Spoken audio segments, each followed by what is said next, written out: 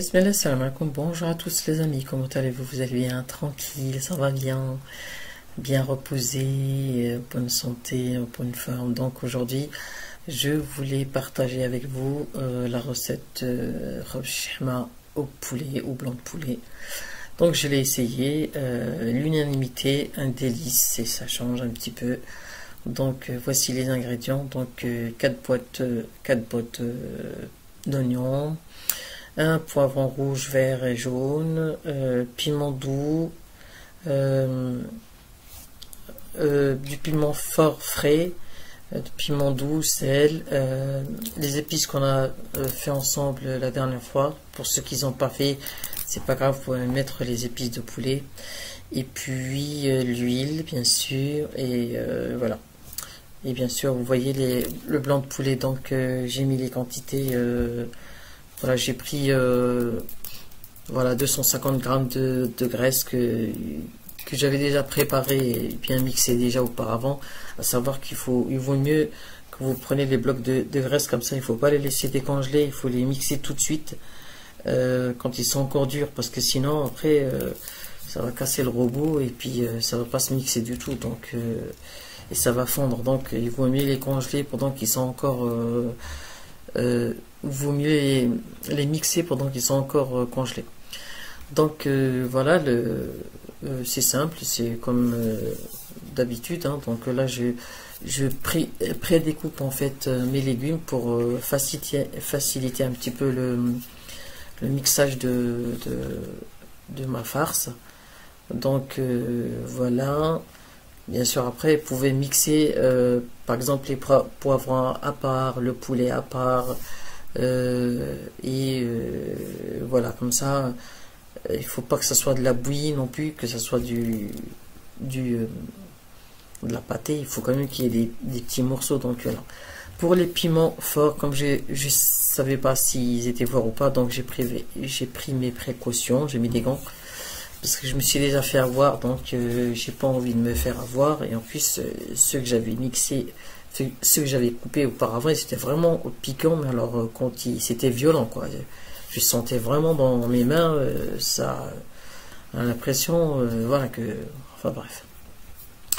Mais étant, donné ce que j'ai vu après plus tard dans la vidéo, c'était pas, ils sont pas trop forts, donc après, il faut quand même en mettre des petits pour... Euh, ça donne du goût, même s'ils sont pas forts, ça donne quand même un peu de goût.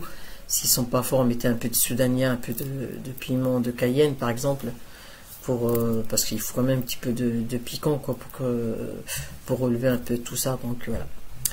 Donc euh, là, moi j'ai tout mixé dans, le, dans le robot. Donc j'ai mis les épices qu'on a préparé la dernière fois. J'ai mis une cuillère à soupe.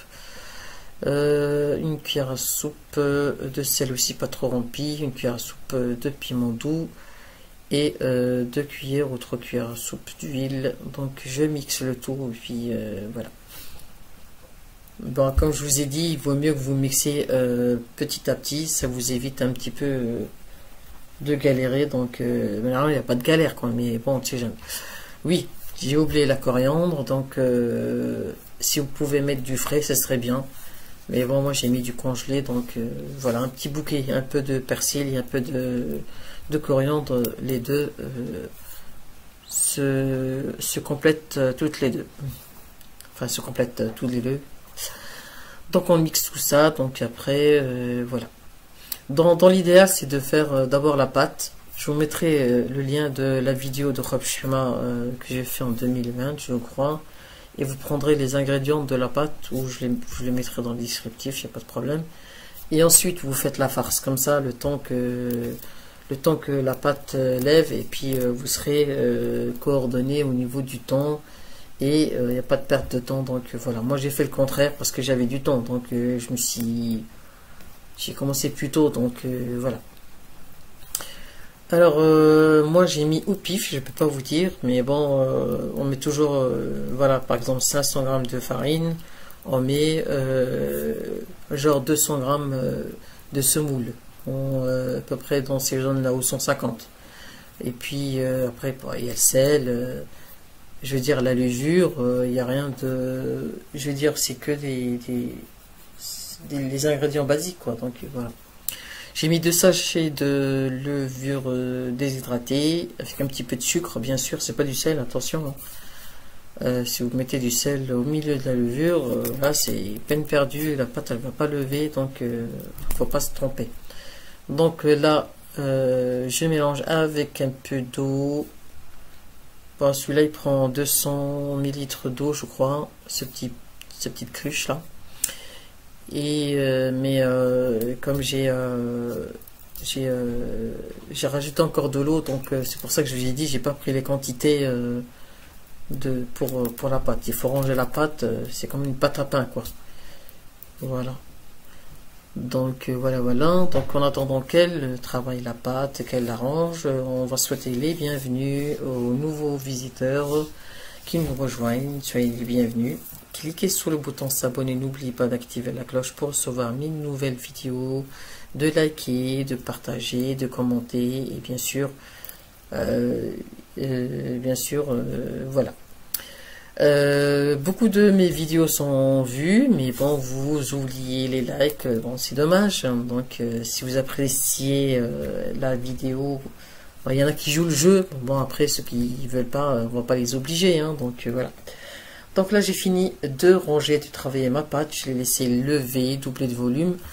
Là, comme j'ai beaucoup de, farce, j'ai euh, divisé. En fait, j'ai mis euh, la moitié dans un sachet de congélation que je vais congeler pour une prochaine fois. Donc, euh, voilà. Vous voyez, ça donne... Ça, c'est la toute première farce que j'ai faite. Hein. Donc là, ma pâte a triplé de volume. Je la détends vite fait. Je la retravaille quelques minutes. Voilà, pour la détendre.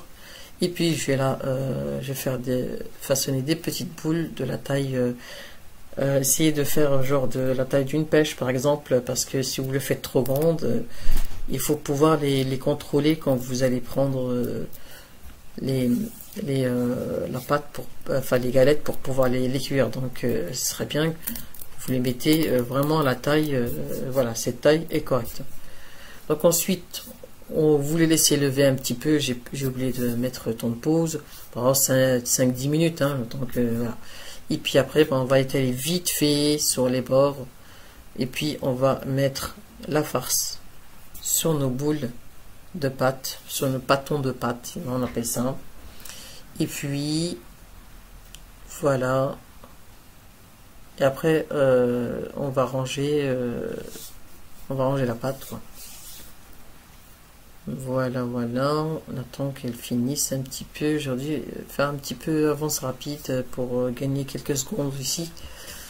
Mais je ne l'ai pas fait. Donc euh, voilà, il y, a des gens qui ont besoin de bien voir et de trucs. Après, bon, euh, je, je m'adresse à ceux qui ne savent pas, hein, qui sont nouveaux dans la cuisine. Donc ceux qui savent, savent. Donc euh, voilà, voilà. Donc ensuite, on va les ranger comme ça. Voilà. Et puis euh, voilà. Et puis vous pincez bien au-dessus pour fermer pour que la farce ne sort pas. Donc c'est le même procédé que euh, le, je veux dire habituel quoi. Donc voilà, il n'y a rien de nouveau sous le soleil. Hein. Oui, c'est vrai, il pleut aujourd'hui, donc on en a besoin. Il faut penser aux agriculteurs, donc ils attendent la pluie. Euh, voilà, moi je je n'ai besoin aussi, mais bon, euh, voilà, je n'ai rien planté cette année, donc euh, bon après c'est pas grave. on a eu beaucoup de travail, j'ai eu beaucoup de travail dans le jardin, donc j'ai pas pu planter quoi que ce soit. Et puis j'ai pas encore fini, donc voilà. Donc est-ce qu'elle a fini? Bon, je vais discuter avec vous le temps qu'elle finisse un petit peu, donc voilà. À part ça, vous allez bien, quoi de neuf, hein, tout va bien dans la vie, hein, tranquille. Ouais, ouais, ouais. Oui, oui, je suis au courant. Euh, plus de farine dans les magasins, plus d'huile. Euh, voilà, bientôt on va manger de l'herbe, donc euh, voilà. Ah, elle fini. Donc voilà, j'ai étalé mes pâtes. Bien sûr, l'étape de l'étalage, je l'ai pas mis. Je sais pas pourquoi où elle est passée, la, la séquence, mais bon, c'est Enfin, vous connaissez, hein, euh, donc euh, voilà. J'ai laissé quand même euh, 10 à 20 minutes, 10-15 minutes pour lever, puis après j'ai commencé à cuire, chauffer à feu moyen votre poêle et, et vous cuisez tranquillement votre, votre pain roche, le djej, qui est jizouin ou le did, il est... Il, a un autre goût, je sais pas, hein, il a un autre goût et moi ça me plaît ça change un petit peu il faut changer donc voilà bien sûr quand vous trouvez évitez de faire sortir la farce donc voilà voilà les amis, je vous dis à très bientôt pour de nouvelles vidéos avec Chi. Partagez, likez. Salam alaikum. Ça c'est le résultat. À bientôt.